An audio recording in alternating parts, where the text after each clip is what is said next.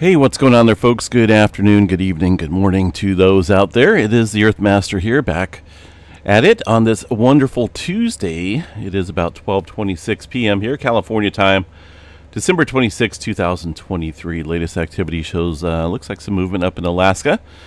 We did see some further deep, super deep activity up here into the area of the Sea of Okhotsk. It looks like.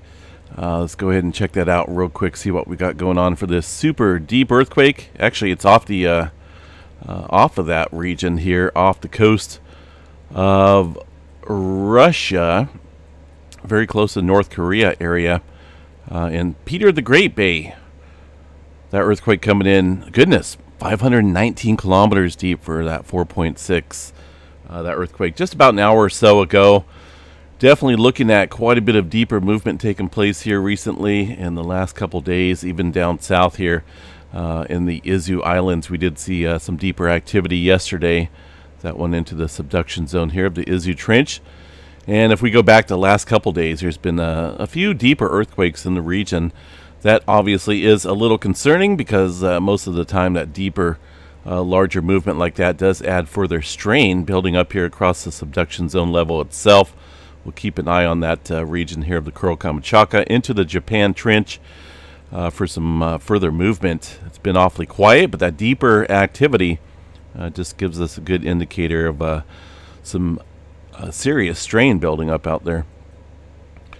All right, across the rest of the world here, see what we got down in New Zealand. Looks like a couple earthquakes along the Kermadec Trench, some threes and maybe even a four in there or so, some deeper activity. Still lacking activity here across Papua New Guinea eastward uh, across this region, the Solomon Islands down into Vanuatu area. So things are remaining quiet there for now. Looks like we did have 5.1 though here in in the area of Papua New Guinea. Uh, that earthquake coming in early this morning. It looks like about 80 kilometers deep uh, across this plate boundary here. But keep an eye on this zone right here. It's been awfully quiet here recently. Uh, looking at the rest of the globe, still showing some clustering going on about the Philippines southward into the Indonesia Islands area. Uh, there's that deeper movement up north. Across the rest of the globe here shows uh, some twos and threes out there across the Mediterranean. And I'm sure there's quite a bit of, uh, excuse me, quite a bit of other activity out there across the region of the globe. But this is just the Mediterranean uh, earthquake activity from the EMSC, I don't have all the agencies up here on the globe, so there's always going to be some twos and threes out there across any uh, plate boundary that you look at. But then the globe would be completely cluttered, and we wouldn't know what's going on out there. So I kind of keep it at the minimal uh, in terms of that uh, activity. Uh, down south, another earthquake into the South Sandwich Trench, it looks like, overnight. Uh, pretty, uh, well, it's not too deep, but it is at the northern edge here of the subduction zone, 5.0, 125 kilometers deep. Now, over the past seven days or so, we have seen a handful of earthquakes out here, up and down the region, kind of equaling things out here across the subduction zone. Um, of course, this area a couple years ago did see an 8.1 earthquake out here, but you know, it's I don't know if you want to call that aftershock activity or just continuing uh, continuing activity in the region. Uh, just always seems to get uh, quite a bit of earthquake activity down here. Last week has um, definitely shown that. Today, 5.0, 125 kilometers deep, so we're building some further strain across the region. Uh, areas of the Puerto Rico Trench and the Dominican Republic. Last night, seen a 5.3 coming in up here in this little swarming area that we've been kind of watching. Uh, a handful of earthquakes since then, overnight, uh, mostly across the area north here, Puerto Rico. Uh, still pretty close here to the Puerto Rico Trench. Got to keep an eye on this area. It's been showing some elevated movement uh, across the region. The latest earthquake here, 4.5 into the Venezuela area, about 18 kilometers deep or so on the southern end of that Caribbean plate. Uh, one little earthquake out here in Texas, near Snyder, Texas. I already know what's out there, 2.9. Quite a bit of oil fields out there across the Snyder, Texas area. Uh, as you can see here on the map, looks like maybe some older operations out here that have been erased off of the land. Uh, but this earthquake occurring, it looks like uh, in a field, but there does appear to be some some type of tanks or something going on out there.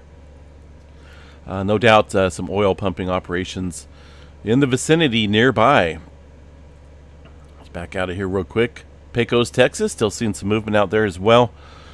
Uh, let's look at the west coast, see if anything's going on up here. You've got one earthquake outside of Mount Rainier. It's going to be a 0.7 earthquake. And not seeing anything major going on up here uh, for now. Not even uh, anything of concern. A couple threes out there off the coast of Oregon from yesterday and today. Um, this activity here in Northern California from yesterday. A little bit of movement at the southern end of the Cascadia subduction zone. Uh, let's see anything else going on here. One little earthquake across Lake Almanor, 2.4 from early this morning. The rest of the coast, or rest of California here, I should say, looks uh, about normal in terms of uh, daily earthquake activity. A little swarm going on here near the Little Lake area in the Coso uh, Basin region. A lot of uh, older volcanic activity out here. Uh, for now, looks like uh, did have a 3.0 earlier this morning and a couple other twos and ones scattered out there across that area. Nothing going on across the eastern portion of the country. And uh, Alaska area looks about normal for any given day. Twos and threes uh, appear to be the magic number, along with uh, quite a few microquakes out there. Uh, let me double check Yellowstone here real quick and see what we got going on here. Nothing on the map, but that doesn't mean anything uh, because a lot of times we'll see swarming happen out here with no uh, indication of it on the USGS map. A couple earthquakes here in the last, um, uh, earlier this morning it looks like some very small spikes. These events up here appear to be localized to the area. I don't know if they are maybe some geyser activity. Uh, this event right here looks a little odd, right? If I wouldn't know better, if I didn't know better, I would think that was maybe lava, or not lava, but magma brewing down below. But I'm not seeing anything showing up here uh, locally at other seismograph stations, not even a hint of it. So if this was legit activity, say magma movement or fluid movement underneath the ground, uh, we would see it nearby, and I'm really not seeing any signs of it anywhere um, across any other seismograph station. So whatever it is uh, appears to be uh, local here, very local to the seismograph station. I don't know if there's a generator running for a couple hours there or what, but uh, definitely hard to say.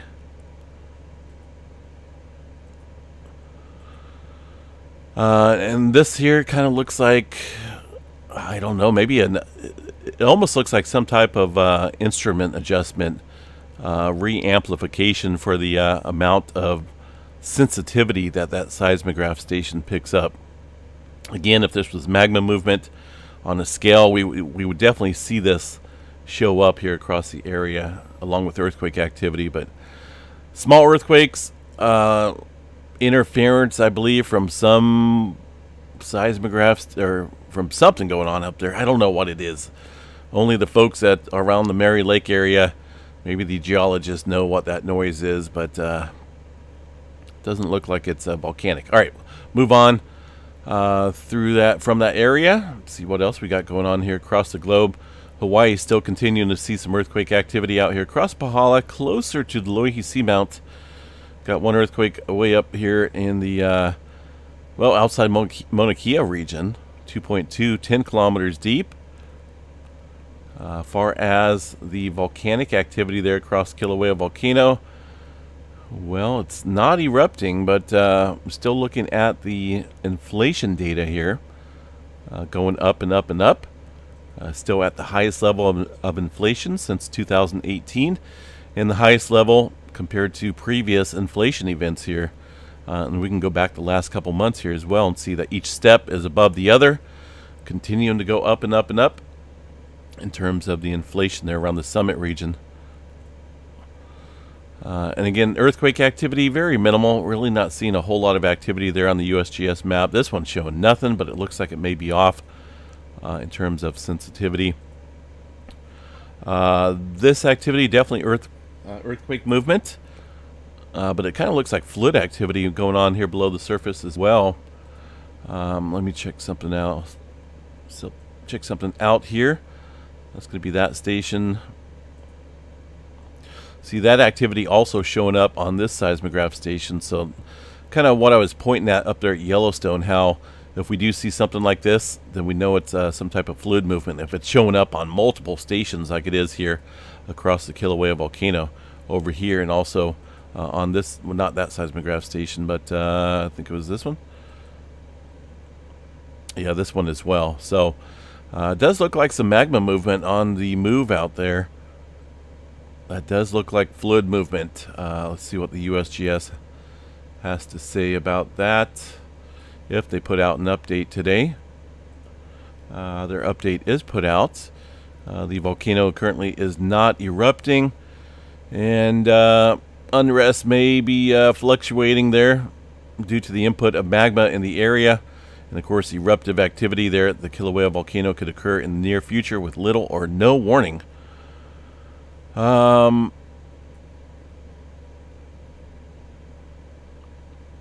Let's see. There is currently no signs of an imminent eruption at Kilauea, but the volcano summit region remains unsettled with a high level of inflation and continued seismic activity. Uh, the onsets of previous summit eruptions have been marked by strong swarms of earthquakes caused by magma moving towards the surface one to two hours before the appearance of lava.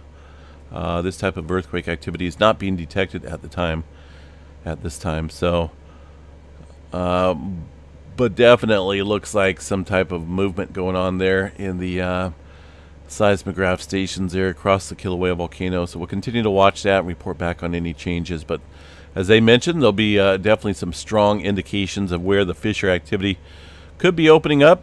Um, uh, you know, along with some earthquake swarming out there in certain regions. I'm still kind of leaning towards areas south here of the of the uh, summit region. All right, let's see what else we got here across this region uh, of this beautiful planet we live on. Hopefully, everyone survived the the holidays. A little crazy sometimes, but uh, it's always good to spend some time with uh, families. Uh, let's see. Really not seeing anything major out of the norm here. All right, uh, let's go check out the I'm going to check out GeoNet servers here real quick down in New Zealand just to make sure that we're not missing anything. Otherwise, it'd definitely be showing up here if that was the case. But last uh, two days ago, 2.3 earthquake drums obvious, obviously will give us a good indicator of anything brewing out here in terms of swarms or activity that has been missed. 12 hours ago, looks like some of that activity here, South Island area, but that, I think that was a three-pointer. Not seeing anything major going on there across the area for now. The solarham.net site. There's that coronal hole, number 86. The most recent image here does show it a little bit closer. Uh, getting closer here to the Earth-directed view. We'll watch that, though, in the coming days. Could pick up a little bit of high-speed solar wind stream from that coronal hole, uh, and that could amplify the aurora conditions here uh, as we head into maybe the weekend or early next week. Uh, let's see. No major flaring has been produced. Flaring activity has been uh, low key, so to speak, over the last couple days. 95% chance for a C flare, M flare at 20, X flare around 5% chance or so. Uh, but these uh, sunspot regions, look at that. Hold on a second. Let's go back here. This was, uh, I think, 1226 last night, if I remember right. This is last night's image. This is most recent. There was a new sunspot here developing right? It was marked up here on the SolarHam site. Look at it today. Uh, it just completely has diminished here, uh, along with other sunspot regions out here that have been facing the Earth. So, uh, really not seeing any potential of any type of flaring, maybe some C flare activity, but all these sunspots are decaying and relatively stable in their current magnetic uh, conditions out here.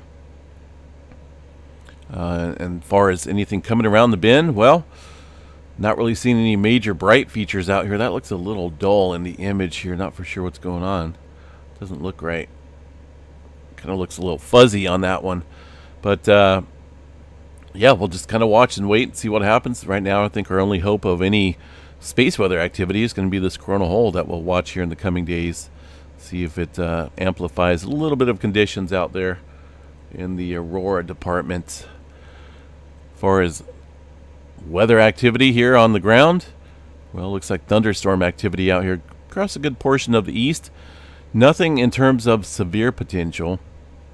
Less than 2% across all areas. And that is due to a low pressure system here. Spinning up some moisture there across the uh, eastern uh, portion of the country. Wrapping back around this is some colder air bringing some snow into Nebraska, South Dakota area. Um, giving a little taste of winter out there. West Coast got a storm knocking on our door here come Wednesday. Um, and that's going to bring a little bit of rainfall um, over the end of the weekend and into, or the week into the weekend. Uh, we got no, another storm system here around Saturday, bringing some further rainfall in. Uh, looks like that may stick around a little bit and open the storm door, so to speak. Crazy how quick these things change, though uh, these models crazy because I remember just uh, couple, well, maybe last night or the night before, I can't remember exactly when, it showed some pretty strong storms hitting Southern California, but that doesn't appear to be the case now. Looks like that's just going to stick up north to Northern California, and um, I guess we'll see how this plays out. Either way, I uh, hope everyone enjoys the day. It is uh, uh, it's it's kind of quiet out there, right? I, know last night we didn't see a whole lot of activity stirring up out here across the Western Pacific. Most of the movement that that uh, did stir up overnight and this morning uh, is uh, some deeper activity. So watch these zones today. Deeper activity normally strains uh, towards the surface areas upstream, so to speak. So we'll continue to watch areas out here for some movement. Seismograph stations out here look pretty calm right now. The uh, Iceland station, again, there's not a whole lot of movement there across the Iceland area. Let me cover that here real quick. I did have it pulled up first, but their update was put out about four days ago, so nothing new has gone on here. Uh, otherwise, they would have put out an update by now. And their earthquake activity up here, uh, about 35 earthquakes in total across the area. And uh, still seeing some movement here.